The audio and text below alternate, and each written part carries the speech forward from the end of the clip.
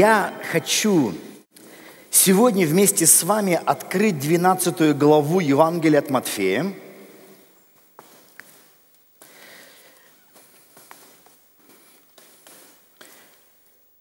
Одна из заповедей, которую Господь дал своему народу, была заповедь о субботе. Шесть дней работай, в седьмой отдыхай. И само слово суббота, шаббат, означает покой. Вы знаете, очень часто то, что Бог нам говорит, что Бог нам заповедует, мы легко из этого делаем какой-то обряд или ритуал.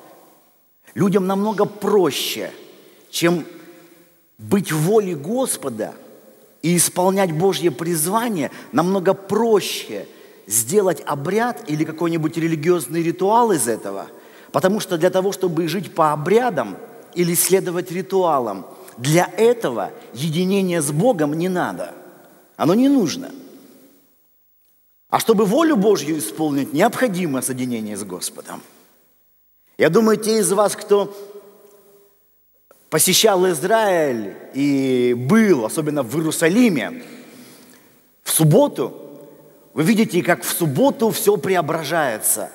То есть доходит до того даже, что, э, я помню, мы жили в гостинице, и, и в субботу э, даже кнопки в лифте не нужно было нажимать, они не работали, лифт ехал и останавливался последовательно на каждом этаже.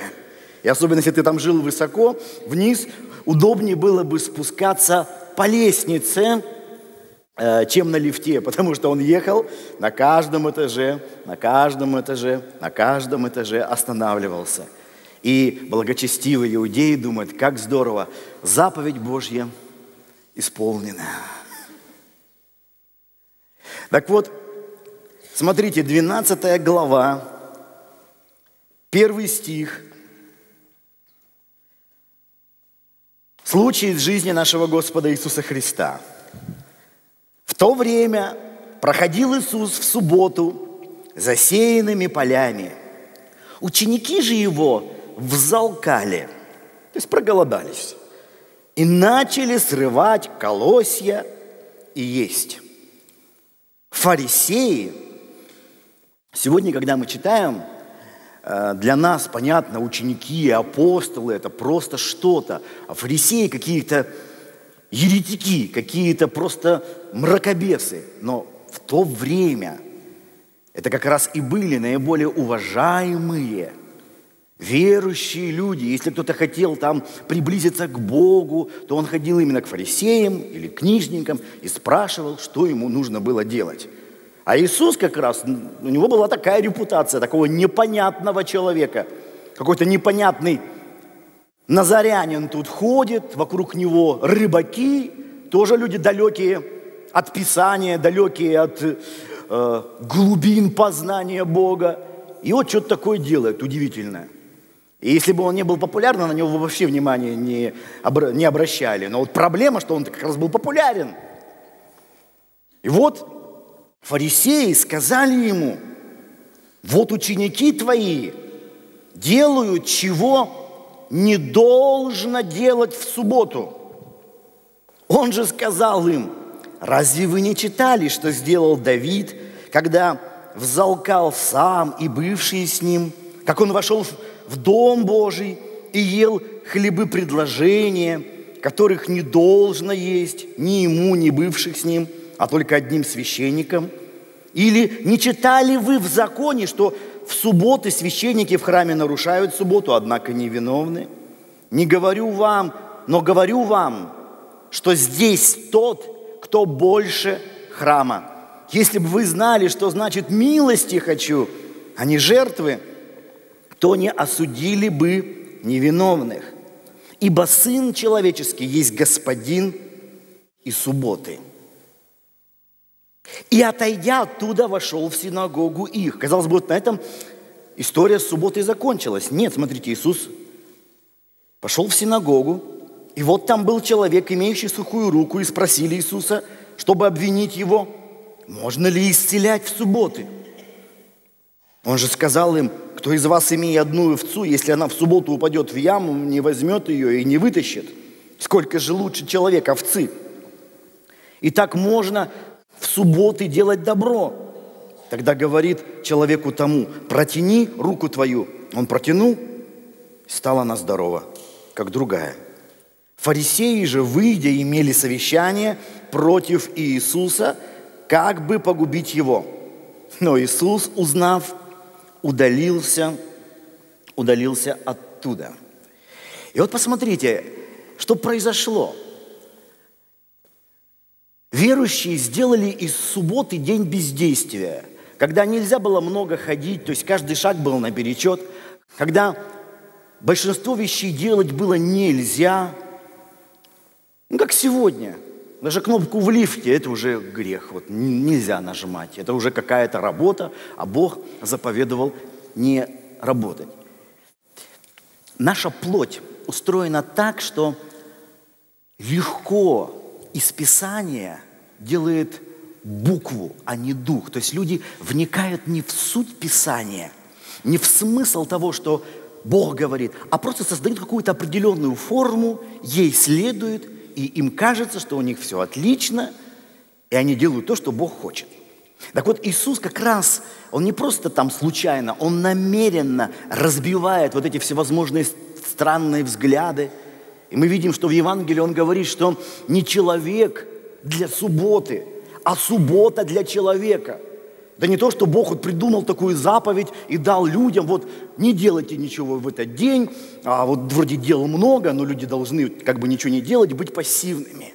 Иисус показал, нет, смысл субботы в другом.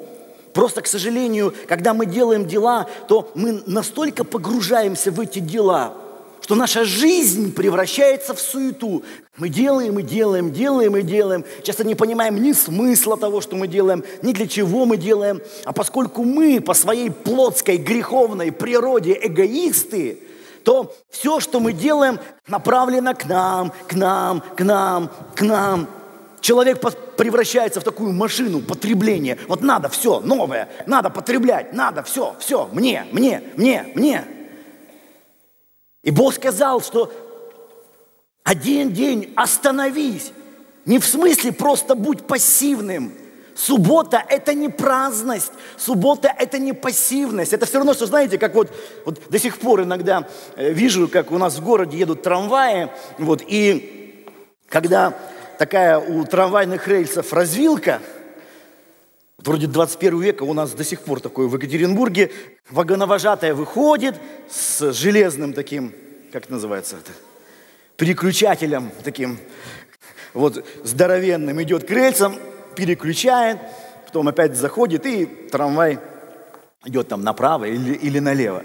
Так вот, знаете, вот точно так же э, Бог, Он для чего придумал субботу? Не то, что ты вот ехал, ехал и встал. Нет. Это некий как бы переключатель – чтобы ты из внешней физической деятельности переключился на внутреннюю духовную деятельность. Поэтому, когда Бог заповедовал, Он и говорил, что необходимо вам, необходимо э, во время субботы, то есть во время покоя, ходить в священное собрание, то есть наполняться Духом Господа, осмыслить, а не осуетился ли я, для чего я живу, не превратился ли я в эгоиста, который просто не видит окружающих, не видит нужд? Какой смысл, какая цель? И что важно, об этом Иисус не, не первым начал говорить. Вот если мы с вами откроем э, пророка Исаию, смотрите, Исаия 58 глава. Исаия 58 глава, второй стих. Вот смотрите, Господь говорит о своем народе. То есть это слово адресовано именно к верующим людям. Они каждый день ищут меня и хотят знать пути мои, как бы народ, поступающий праведно и не оставляющий законов Бога своего. Они вопрошают меня о судах правды, желают приблизиться к Богу. Почему мы постимся? задают вопрос люди. А ты не видишь. Смиряем души свои. А ты не знаешь. Вот в день поста вашего вы исполняете волю вашу и требуете тяжких трудов от других. И вот смотрите, люди, пост, казалось бы, что такое пост? Все, человек не просто прекращает все, он даже кушать перестает. Вот, казалось бы, ничего не делает. Почему? Бога ищет. А после возникает вопрос, ну, Господь, я не ел, вообще ничего не делал, даже не кушал. А ты не слышишь? Хотел приблизиться к тебе, вся моя душа к тебе устремлена. А небо словно закрыто, и после поста ничего не меняется. Почему? Я вроде делаю, Господь, э, то, что необходимо. Пощусь. И вот смотрите, шестой Бог, шестой стих, Бог объясняет, почему же порой мы ходим на собрания, мы молимся, мы постимся, мы берем какие-то периоды уединения, а ничего не происходит. Вот пост, который я избрал, говорит Господь. Разреши оковы неправды, развяжи узы ерма, угнетенных отпусти на свободу и расторгни всякое ермо. Раздели с голодным хлеб твой, и скитающихся бедных веди в дом. Когда увидишь нагого, одень его, и от единокровного твоего не укрывайся. Тогда откроется, как заря, свет твой, и исцеление твое скоро возрастет, и правда твоя придет пред тобою, и слава Господня будет сопровождать тебя. Тогда ты воззовешь, и Господь услышит, воззапьешь, и Он скажет, вот я – когда ты удалишь из среды твоей ермо, перестанешь поднимать перст и говорить оскорбительное, и отдашь голодному душу твою, и напитаешь душу страдальца, тогда свет твой взойдет во тьме, и мрак твой будет как полдень. И вот смотрите, очень интересно, Господь говорит, вы не понимаете смысл поста. Вы думаете, что пост это просто не кушать? Просто это просто прекратить все, вот сидеть, поститься – нет, пост не означает праздность. Покой не означает бездеятельность. Ты должен делать, но смотря, что ты делаешь. Что ты делаешь? Это не то, что ты там жил для себя, сейчас вообще просто остановился, ничего не делаешь. Нет. Пост означает, что ты продолжаешь делать, но Важно, что ты делаешь. И Бог говорит, разреши оковы неправды, развяжи урзы ерма угнетенных, отпусти на свободу, раздели с голодным хлеб, скитающихся веди в дом, увидишь нагого, одень его, от единокровного не укрывайся. То есть ты продолжаешь действовать, ты продолжаешь что-то совершать, но ты уже это делаешь, исходя не из своего эгоизма, а исходя из любви. Вот что такое настоящий пост. И Бог говорит, и тогда я откроюсь тебе. Казалось бы, я что-то делаю для ближнего, а открывается мне Господь. Через эту любовь я вижу Господа, я переживаю Божью милость, я переживаю Божью благодать. Не просто там сижу, ничего не делаю. И дальше посмотрите, Пророк переходит от поста и к субботе, 13 стих. Если ты удержишь ногу твою ради субботы от исполнения прихотей твоих, то есть, смотрите, суббота – это не просто прекращение всякой деятельности, что аж на кнопку лифта нельзя нажать. Ты прекращаешь действовать для своих прихотей. Вот что означает суббота – от исполнения прихоти твоих во святой день мой, и будешь называть субботу отрадую, святым днем Господним, чевствуем и почтишь ее тем, что не будешь заниматься обычными твоими делами. Не то, что ты вообще ничего не делаешь, обычными, повседневными, то, что Писание называет суетой.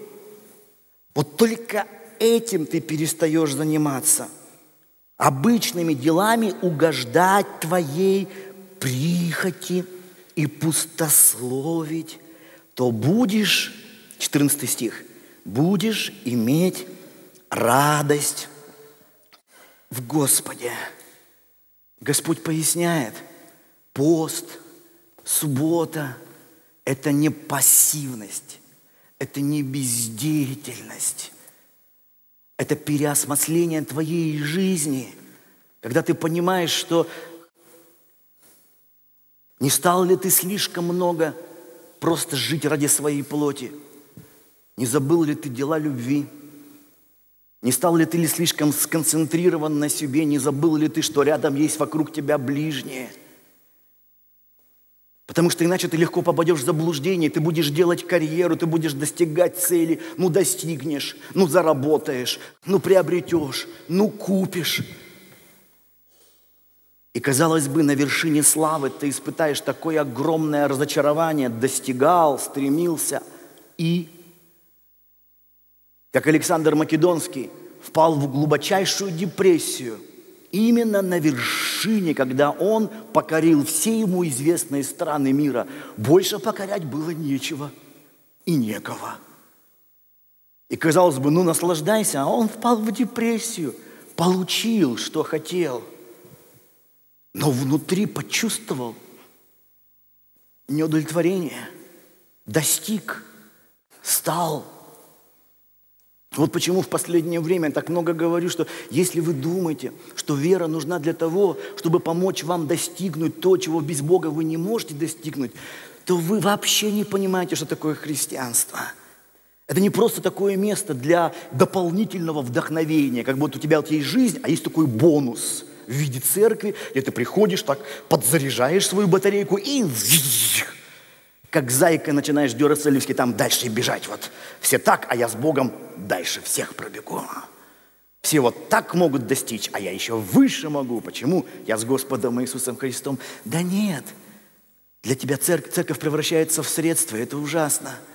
Но когда ты приходишь сюда, ты знаешь, ты словно выходишь за грань всего видимого и понимаешь, что жизнь на земле с удачами и неудачами, с победами и поражениями, это далеко не все, что есть.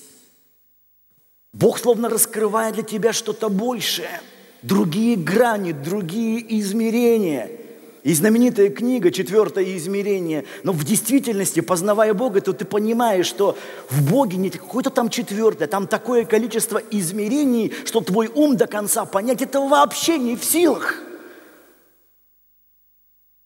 А не то, что еще одно измерение, чтобы эти три измерения были круче, чем у всех остальных. Это опять потребительство. Когда Бог показывает себе безграничность Его измерений – ты получаешь истинный мир в сердце. Не мир, который сейчас вот все больше вот ничего не делаю. Нет, ты продолжаешь делать, но с другими мотивами. Это дела, которые Библия называет дела любви. Вот почему необходимо вот эти субботы, покой, не в смысле пассивность, еще раз говорю, не в смысле бездеятельность, в смысле погружения во что-то большее – Поэтому и произошла э, парадоксальная история. Иисус исцелял людей. Иисус разрешил своим ученикам покушать, когда они проголодались. И это у верующих того времени вызвало гнев и негодование. Как? Что он делает? Он нажал на кнопку лифта. Что он делает? Как он делает? Он работает. Они там что-то растирают колосья, да как это мыслимо ли такое? И еще говорят, что с ним Бог. Иисус говорит, вы, вы вообще ничего не понимаете. Вы не понимаете самое главное, милосердие Бога, что Бог все создал, чтобы благословлять нас. И поэтому становится понятным, смотрите, вот в этой же Евангелии от Матфея 12 главе, вот 12 глава, 30 стих, понятно, почему Иисус, вот из, из всего вышесказанного, да, из контекста понятно, Иисус говорит, кто не со мной, тот против меня, кто не собирает со мной, тот расточает. Вот это вот понимание субботы как праздность, как пассивность. И Иисус говорит, пассивность – Это не просто вот я либо делаю плохое, либо делаю хорошее. Пассивность – это не золотая середина. Пассивность – это точно так же делать плохое. Делать плохое. Если ты не с ним, не собираешь с ним, то ты расточаешь. Подожди, Боже, я ничего не разбрасываю, я просто не собираю. Вот не собираешь, значит, уже расточаешь. Ничего не делаешь, да? Ничего не делаю. Так значит, уже делаешь плохого. Как? Тем, что ничего не делаешь. Поэтому, помните, у Якова написано, разумеешь делать добро и не делаешь, вот то, что некоторым непонятно, нам кажется, либо добро делаю, либо зло делаю, либо ничего не делаю. Так вот, Иаков, говоря современным языком, ничего не делаешь, ничего не делаю, Господи, зло. Зло делаешь, грех делаешь. Как так? Когда успел? Успел, когда ничего не делал. И вот очень легко духовную жизнь свести к обрядам. И ты думаешь, что ты что-то делаешь хорошее, а на самом деле ты делаешь плохое. Как, Господи? Тем, что не делаешь добро. Тем, что не делаешь благо. Вот в этом смысл субботы. Суббота – это не ничего не делание, это делание, но смотря что делание. Пост – это не просто ничего не делаю, даже не кушаю. Нет. Это совершение труда, но смотря какого труда. Это переключение некое внутри нас, как будто и переключаешься. Поэтому после поста, после субботы, когда ты возвращаешься к повседневной жизни, ты уже словно смотришь на нее новым взглядом, понимаете? по-другому, по-другому смотришь на нее. И вот смотрите, 34 стих этой же 12 главы. Иисус уже обращается прямиком к этим так называемым верующим людям.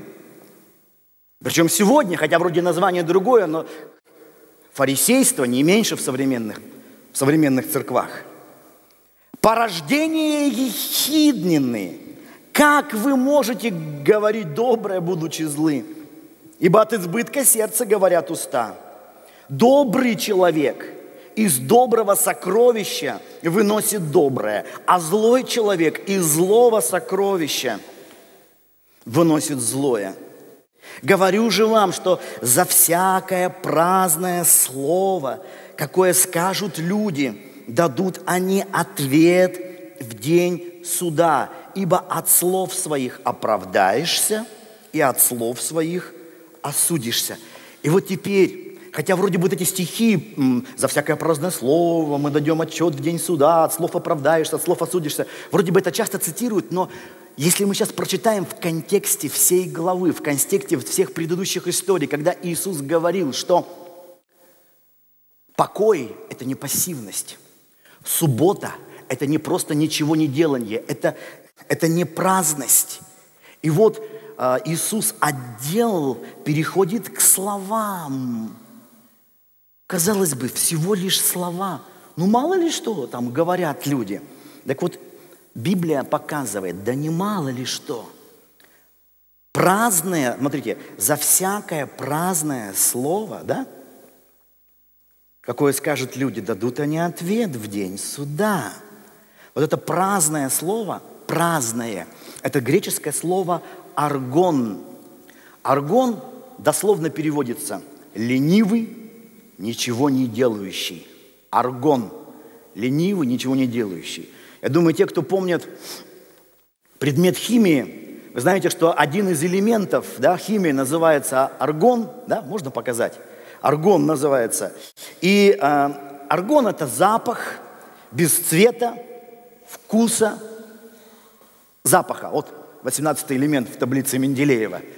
За газ без цвета, вкуса и запаха.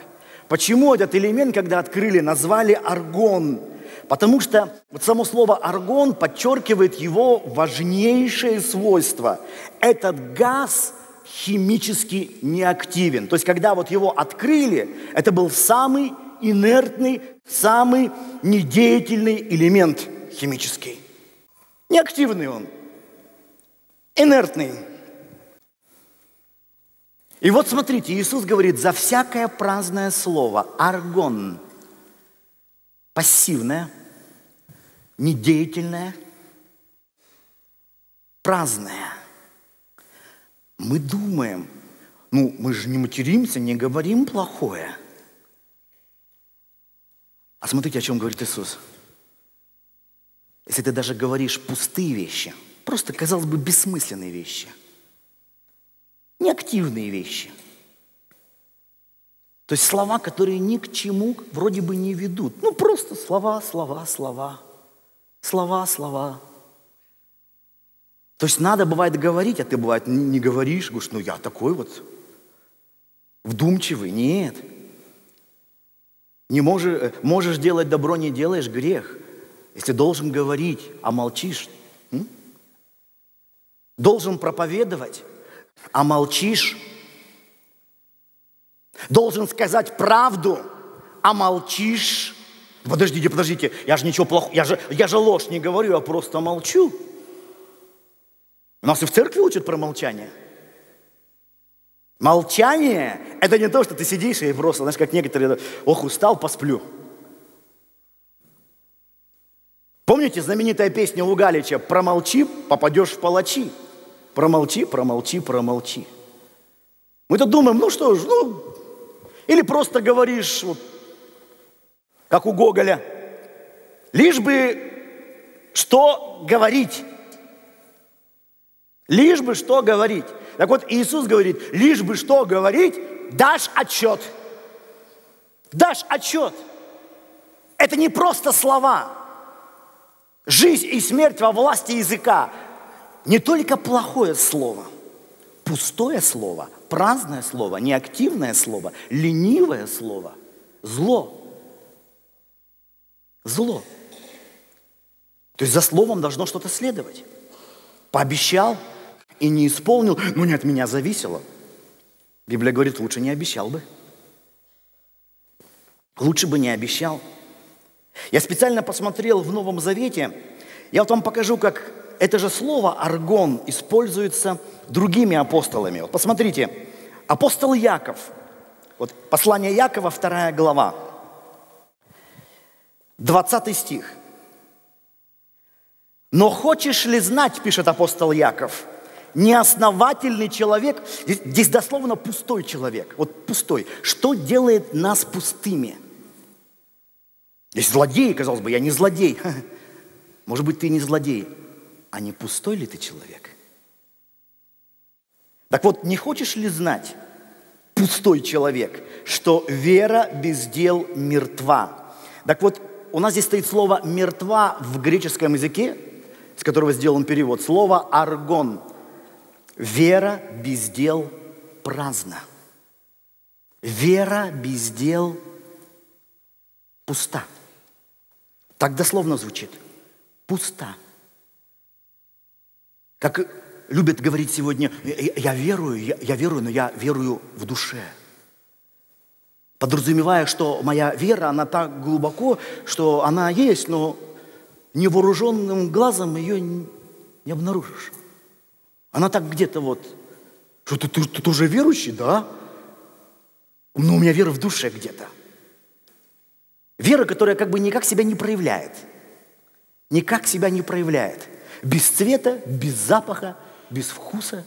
Как этот газ аргон. Вот такая неактивная вера.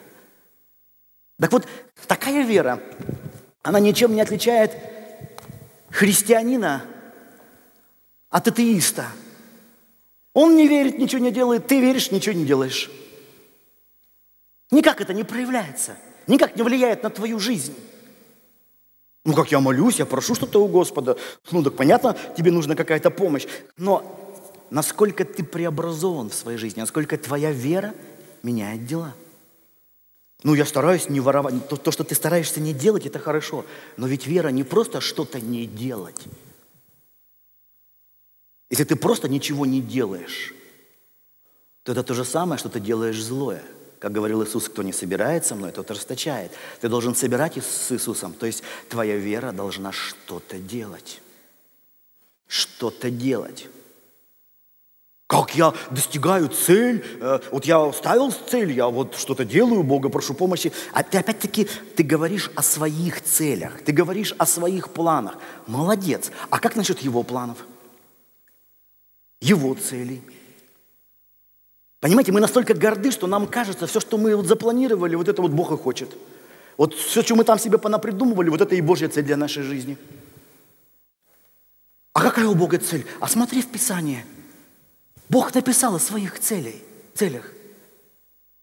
И Он показывает нам во многих и многих местах, что Его цель главная для нашей жизни. Это не великие достижения, не построение великих там э, карьер. Его цель – это сделать нас светом, проявлять Его любовь ко всем людям, чтобы видевшие нас видели Его. А Он есть любовь. А?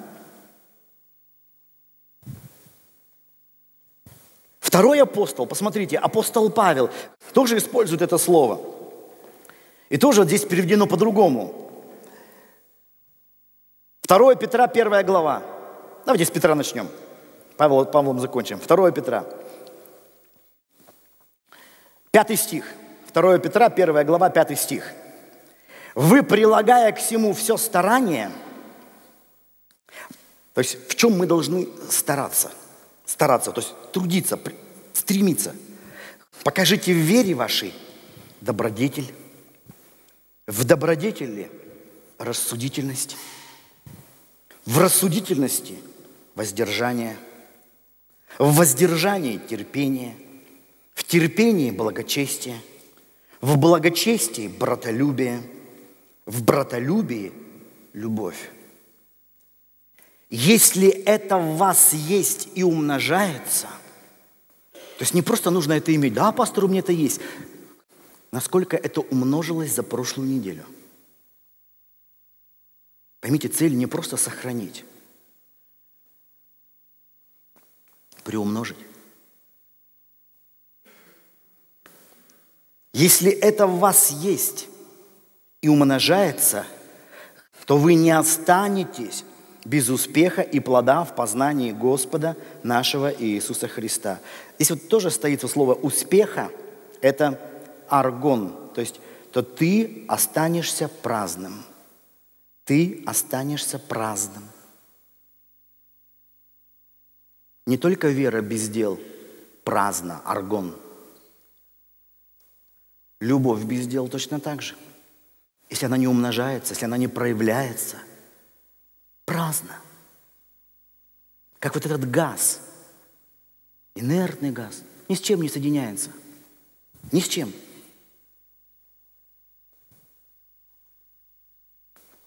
Никому от тебя ни холодно, ни горячо. От твоей жизни. Ну какой? Какое проявление любви ты несешь? Насколько ты не просто в этом находишься, а растешь в этом. Прилагаешь, как пишет Петр, все старание. Приумножаешь это. Или мы, как те фарисеи, оправдываем себя, а мы вот это делаем, раз в неделю на собрание ходим, десятину отдаем, иногда постимся, вот у нас скоро Рождество, у нас будет пост, я буду пост брать. Но все это, это не просто прекращение обычной деятельности, это деятельность новая для Бога, пропитанная верой и пропитанная любовью.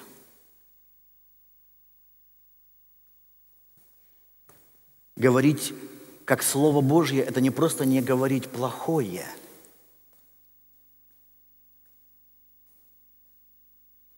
И третий апостол, апостол Павел, тоже использует это слово «аргон». 1 Тимофею 5 глава, здесь он пишет о молодых вдовах. Вот он так говорит. «Притом они, будучи праздны, вот это слово «аргон», бездеятельны, приучаются ходить по домам, и бывают не только праздны, но и болтливы, любопытны и говорят, чего не должно. Итак, я желаю, чтобы молодые вдовы не были праздными – Вступали в брак, рождали детей, управляли домом и не подавали противнику никакого повода к злоречию. То есть, посмотрите, Праздное слово, во-первых, вот это слово аргон, это слово без нагрузки, и это плохо само по себе. Не случайно Сократ говорил, заговори, чтобы я тебя увидел. То есть наше слово, оно показывает нас, оно раскрывает нас. Но Павел показывает, что праздное слово, оно имеет еще одно зло. Не просто это пустое слово, бездеятельное слово. Праздное слово, казалось бы, нейтральное, оно в итоге как раз порождает плохие слова, да? Как он говорит, не, не только праздно, болтливый, любопытный, говорят, чего не должно.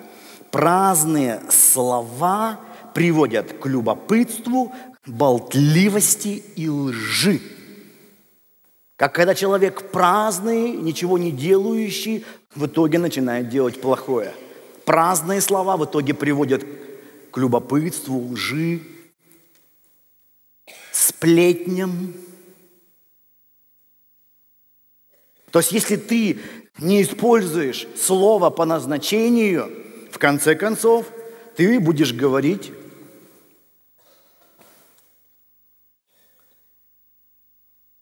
по воле дьявола, служить своими устами тьме. Ложь, любопытство – в Ветхом Завете говорится, что, вот смотрите, очень интересно, в притчах мудрец говорит, что э, не ходи переносчиком в народе и не восставай на жизнь ближнего твоего. Это, это не притча, книга Левит. Не ходи переносчиком в народе и не восставай на жизнь ближнего. То есть сплетни, слухи здесь приравниваются к убийству. Не говори, не распускай ложь. Не сплетничай. К сожалению, этого так много в церкви. Так много вот всех этих рассказов. Причем мы часто пытаемся оправдаться. Но вот знаете, опасна даже не стопроцентная ложь, а ложь вот где-то смешанная с правдой. Когда ты не просто говоришь все неправильно, даже, даже бывает вроде правильно говоришь, но говоришь как бы э, половину, половину говоришь. Вот человек имеет плохие качества, может быть, негативные, которые он должен в себе менять, и хорошие. И ты начинаешь про него рассказывать и говоришь только про плохие, и создается впечатление, что он только плохой. И вроде бы ты сказал все правильно, но ты не сказал все. Ты не сказал все. Наша плоть, она очень любопытна. Она хочет вот все знать. Но она хочет не просто все знать, плоть, она еще негативна. Она тянется вот к плохому. Вот почему так? Вот, вот популярность желтой прессы. Желтые газеты, желтые каналы. Почему они так популярны? Потому что там все время про всех говорят и рассказывают всякие чего? Гадости. Так вот, например, я не помню, что была такая заметка. Неизвестный герой – вот тот знаменитый человек, он долгое время скрывал великий поступок. Не, обычно тот человек скрывал там внебрачного ребенка или еще что-то такое. И ты такой, вау, он такой известный, а подлец. И это очень популярно. Почему? Тяга у нашей греховной плоти к негативной информации. Такое чувство, что вот когда мы слышим негативное по других, словно сами как-то лучше и чище становимся. И начинаем друг с другом говорить, рассказывать уже. И вот так вот, словно мухи по пятам ходят слухи по домам. Вот распространяется, распространяется, распространяется. И в церкви, к сожалению, похожие вещи идут. Похожие. Сплетни, слухи. Порой мы даже как христиане пытаемся их оправдать. Ну, я это ради, ради правого дела говорю. У нас на прошлый, э, в прошлый четверг было собрание, посвящено полностью словам, полностью языку. Я рассказывал, что очень популярны в современном христианстве такие, знаете, вот, особенно вот а, а, в интернете христиане друг у, друга, друг у друга копируют, вот, что бывает с людьми, которые восстают против Бога, или хулят Бога, или не принимают Бога. И вот есть очень популярные там вот э, там, рассказы, там, Джон Леннон похулил Бога, написано, и вскоре умер. Джон Леннон похулил Бога, вскоре умер. Видите, вот великий человек, известный человек, похулил Бога, вскоре умер. Но если вы посмотрите, это история, э, он, во-первых, не хулил Бога, он, это было интервью, которое он дал в Англии в 66 году, в 1966 году, когда он сказал, что сегодня группа Битлз популярнее Иисуса Христа. Это была не проблема Джона Леннона или группы Битлз, это, скорее всего, была проблема христианства, потому что в действительности среди молодежи в то время так было. Ну и после Джон Леннон сказал несколько нелицеприятных слов в адрес христиан, из-за чего христианство так непопулярно. популярно. Так вот, что важно, оно в Англии вообще не наделало шума. А уже когда Битлз в Америку собрались, вот тогда там шумиха поднялась. Как, как? И из этого раздули целую историю. Так вот, Джон Леннон выступал, и он извинился. Он говорит, из моих слов, из мухи сделали слона. Я, говорит, не хотел обидеть христиан. Он все это пояснил. Он раскаялся. Это было середина 60-х годов. Он, во-первых, там не хулил Бога. А во-вторых, вскоре умер. Это было в 66 году, а его убили в 1980-м. Это спустя 14 лет. Я, конечно, понимаю, что у Бога один день как тысяча лет. И про любое событие можно сказать вскоре, с его точки зрения. Но вот знаете, вот, вот все время попытка, вот из-за человека что-то плохое, попытка, а вот он это сделал, а вот, вот суд. Убили его. Мы, мы забываем, что э, если мы ищем в каждом плохом деянии вот какой-то грех, мы забываем, что Господь, в которого мы верим, Он тоже был убит. За какой грех его убили? То есть, понимаете, делать такие связки, это делать себя Богом. Вот он это сделал, и смотрите, что Бог... На... Ну, прям ты секретарь у Господа. Все знаешь. Что интересно, Джон Леннон хотя бы за свои слова потом извинился публично. Бывают верующие сплетничают и ничего не извиняются. Ничего не извиняются. Иногда ко мне подходит и говорит, Виктор, прости, говорит, я, мне Бог так обличил, я вот про тебя говорил, это неправда оказалось. Я про тебя рассказывал, извини. А что ты передо мной извиняешься-то? Что ты передо мной извиняешься? Знаете, с притчу вспоминаю, как один э, молодой человек пришел э, к другому и говорит, извини, я вот про тебя рассказывал плохие вещи, и это было неправильно. Он говорит, да. Говорит, давай сделаем так, вот э, всем, кому ты пойдешь, э, все, всем, кому ты ходил, про рассказывал, возьми просто перышко и положи на порог. Он говорит, ладно, положил, потом приходит к нему, все сделал. Он говорит, хорошо, а теперь иди и собери все перья, принеси ко мне. Он говорит, подожди, так а, их уже ветер-то разметал с порога. Он говорит, вот так вот и твои слова. Он говорит, ну я про тебя сплетничал, ну прости меня.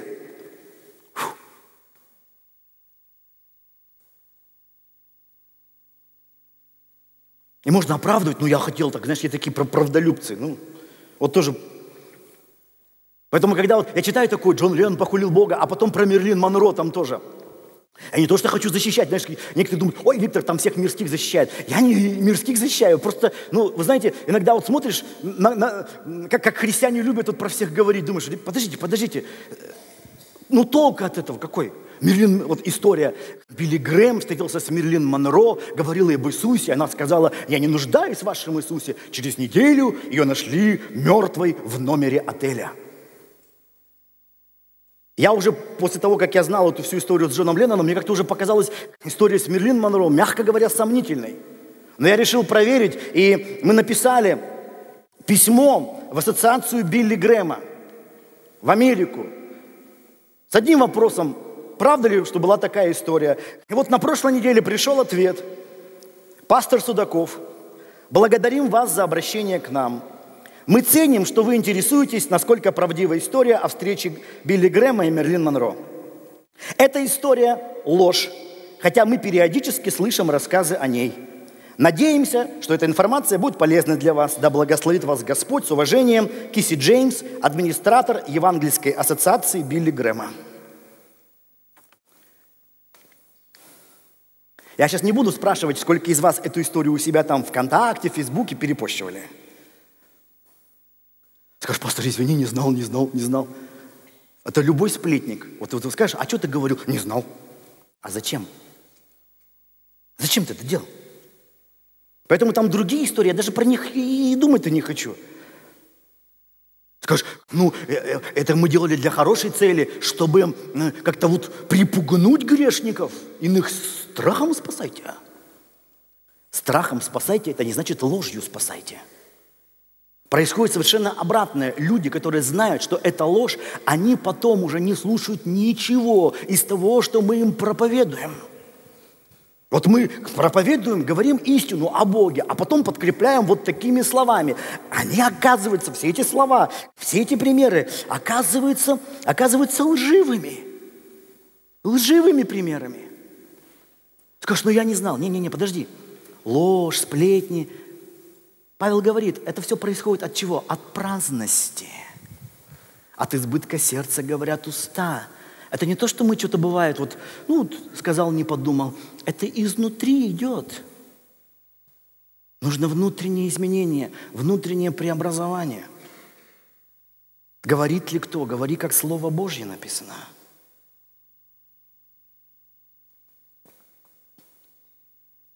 И вот эти все рассказы – Сколько я в своей жизни за 20 с лишним лет пасторского служения столкнулся с ложными рассказами о чудесах, о воскрешениях из мертвых. Даже некоторые говорят, Виктор Судаков перестал верить в чудеса. Я не перестал верить в Божьи чудеса. Я просто не хочу слышать ложные рассказы. Ложные рассказы я не хочу слушать. Ой, эти рассказы, ты понимаешь, что чтобы люди поверили? Не-не-не-не. Я знаю, некоторые евангелисты, когда их обличали во лжи, они говорили, да, может быть, там не совсем правда, но это помогло другим поверить и по-настоящему исцелиться. То есть опять-таки ты думаешь, что ты ложью служишь Господу. Все эти россказни, что там кто-то где-то вот э, э, там сидел на балконе, один и умер во время проповеди, служба порядка подошли, посмотрели, он мертв, и помолились, он воскрес, слава Богу. Служба порядка определила, что человек умер? Вы смеетесь, что ли? Но церковь часто не слушает, о, слава Господу, чудо, чудо произошло. Да не чудо произошло. Болтун просто говорит.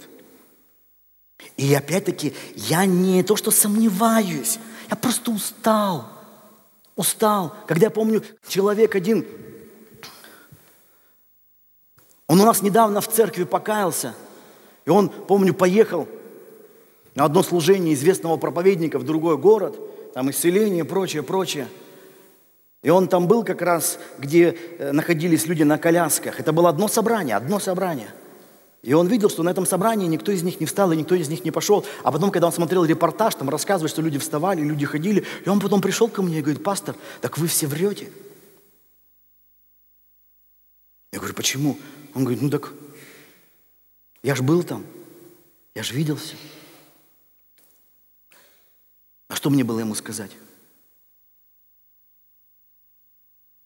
Когда человек слышит ложь с кафедры, он потом уже не верит ничему. Ничему не верит. Так вы тут все, как говорят, бизнесом занимаетесь на, на духовном. Это дискредитация вера, это дискредитация христианства. Дискредитация. И Иисус четко говорит, за эти, за эти все вещи дашь отчет. Дашь отчет. Дашь отчет?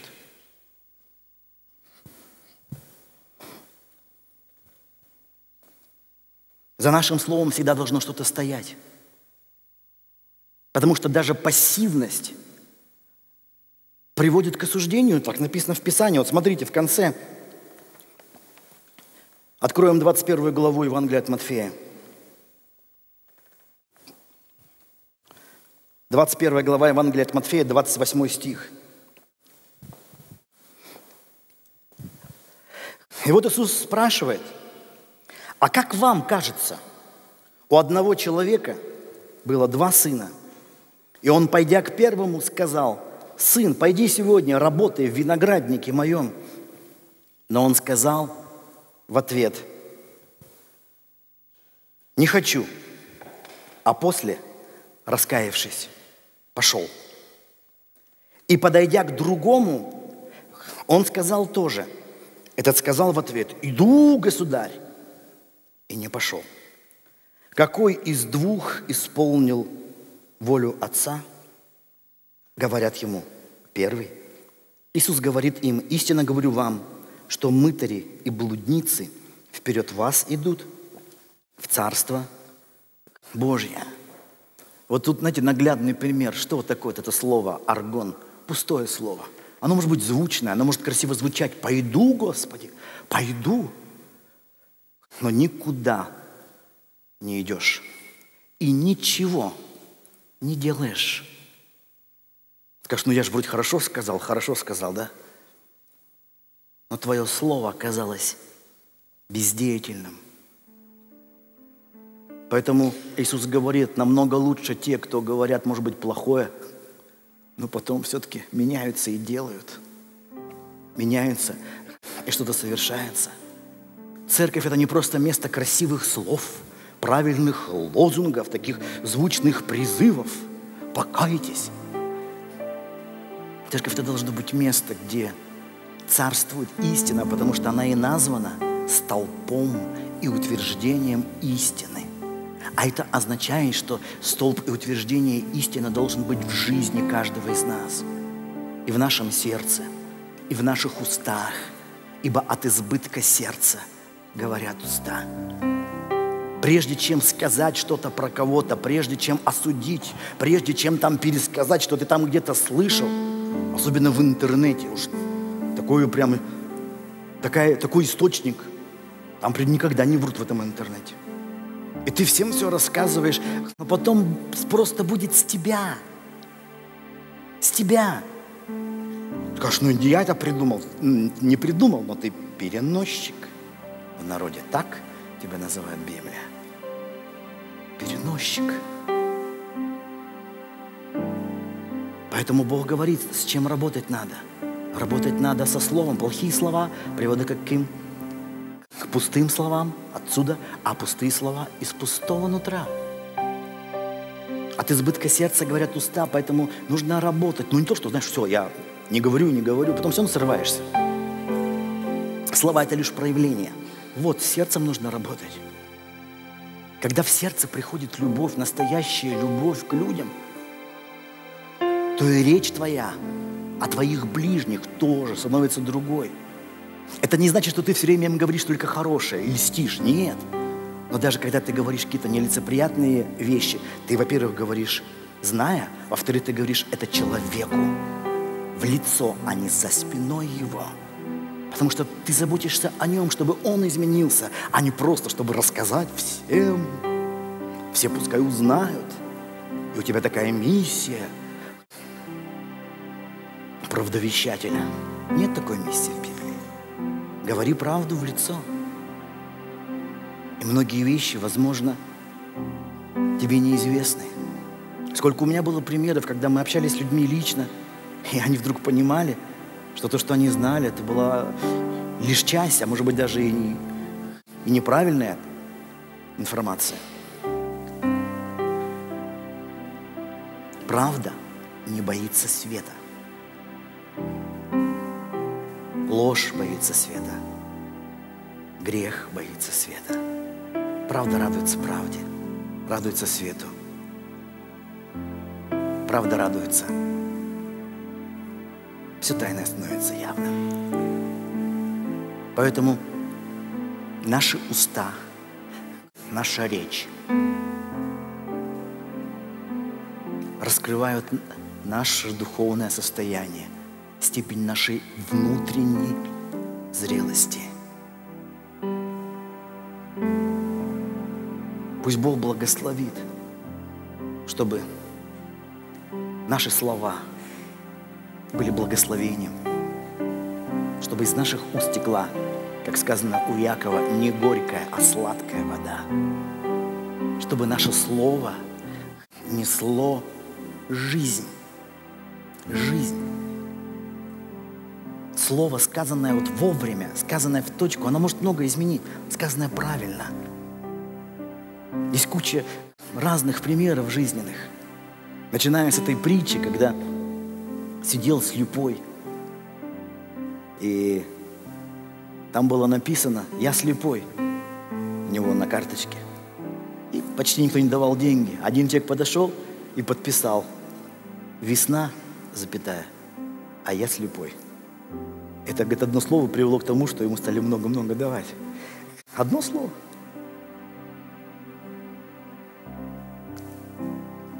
Слова – это не просто слова, не просто звуки. Это что-то несет либо жизнь, либо смерть. А твои так называемые пустые, праздные слова, аргон, это то же самое, что несущие смерть. Из них и рождаются сплетни, и клевета, и ложь.